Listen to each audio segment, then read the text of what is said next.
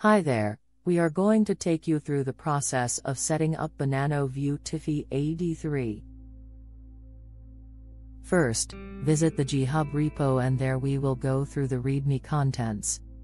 We explain what Banano Vuetify AD3 is, and the tools that it uses. To get started, just follow the instructions in the Get Started section. You are going to need B4J, the Java JDK, Banano and then Banano Vuetify AD3 libraries.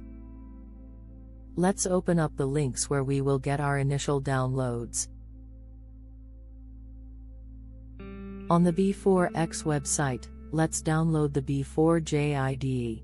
From the same site, you have installation instructions, for example, download links to the Java JDK and then paths configuration. The paths configuration tells the IDE where to get the necessary files for the Java JDK, libraries you will use and also some shared code modules.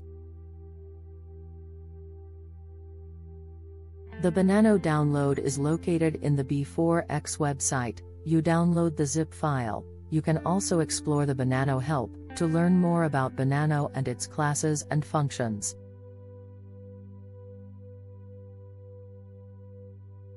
So, you first download and install B4J, then the Java JDK, then Banano.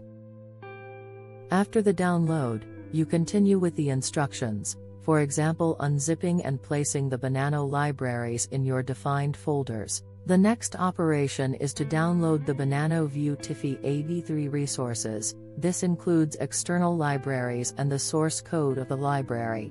The contents of the external libraries must be copied to your B4J libraries folder and the contents of the library folder must be copied to your workspace folder. We also have two demo application, one for the Banano server and another for normal Banano Vuetify AD3 WebApps.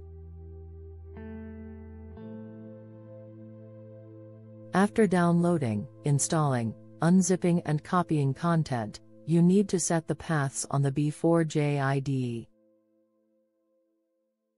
When the B4J IDE is set, you then need to run the Banano Vuetify AD3 source code, this will help produce the needed B4X library.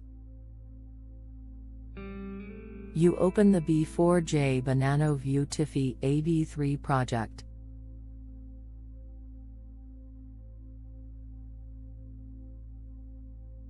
Then you click Run or press F5. This should be done in release mode and is a once-off process, until the next release is available.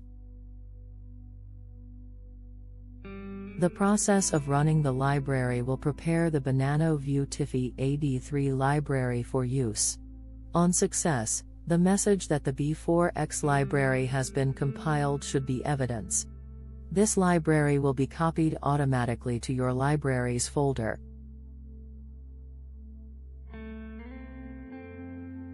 Just to ensure everything is fine, on checking the library's listing, you should see Banano.